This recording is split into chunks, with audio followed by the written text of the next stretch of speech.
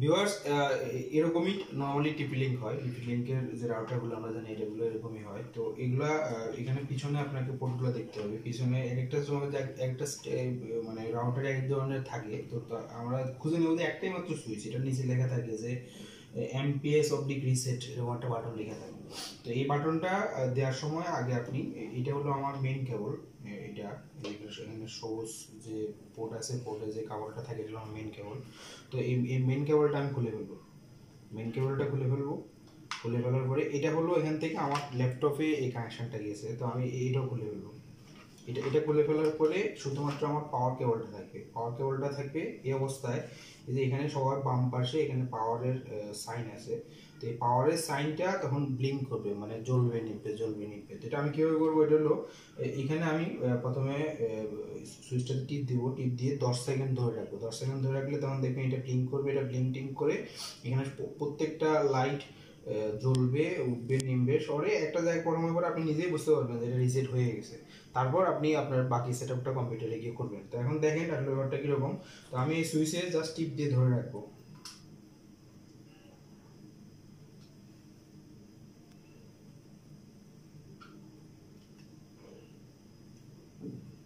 এই যে ব্লিঙ্ক করল, সবগুলো একসাথে নিল এবং এরপরে স্টার্ট নিয়ে নিল। এখন দেখেন এখানে আর কোনো লাইট জ্বলতেছে না, এখানে লক আর এখানে পাওয়ার এর মানে হলো আপনার কম্পিউটার আপনার রাউটার এখন রিসেট হয়ে গেছে।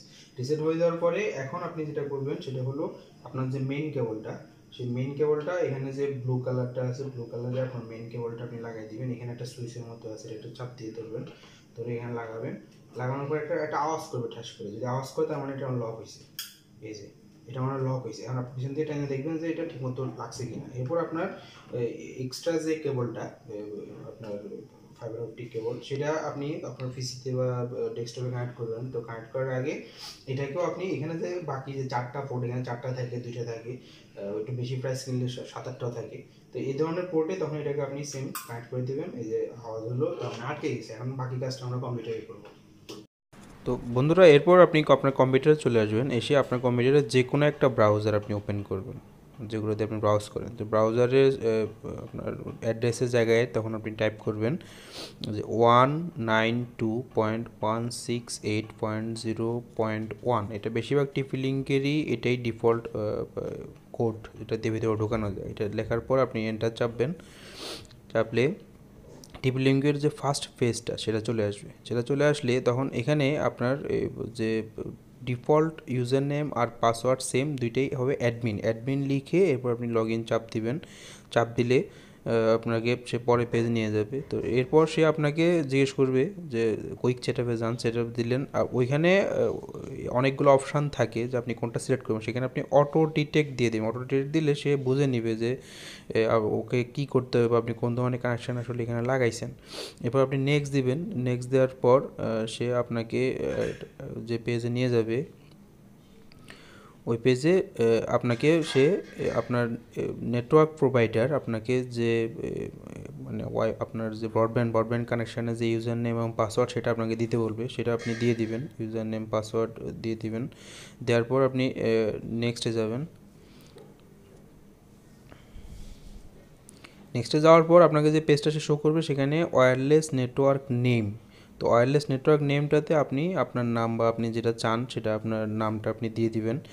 এটাই আপনার ওয়াইফাইতে যখন মোবাইলে কানেক্ট করতে যাবেন, তখন সেটা সেইভাবে, এভাবে শো করবে আর কি। যেমন আমি এখানে দিলাম মোবিলাস হিসেবে। আর একটা হলো নিচে আছে ওয়্যারলেস পাসওয়ার্ড এখানে একটা ডিফল্ট পাসওয়ার্ড থাকে, এই পাসওয়ার্ড দিয়ে আপনি কানেক্ট করতে পারেন।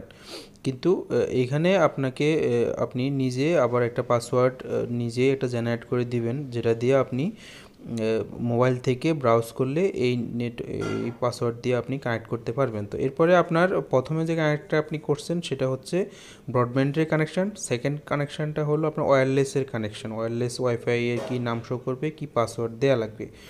এরপর আপনি আপনার কম্পিউটারে একটা ব্রাউজারে গিয়ে ধরেন ইউটিউব ওপেন করে একটা ভিডিও আপনি চালাইয়ে দেখবেন যে এটা চলে কি না তো যদি চলে, তার মানে যদি অলরেডি অলরেডি চলতেছে, তার মানে হলো আপনার ব্রডব্যান্ড কানেকশানটা হয়ে গেছে। সেম সেট আপনি আপনার মোবাইলে দিয়ে দিবেন, দিয়ে দেখবেন যে মোবাইলেও ঠিক একই রকম করে ইউটিউব চলছে কিনা।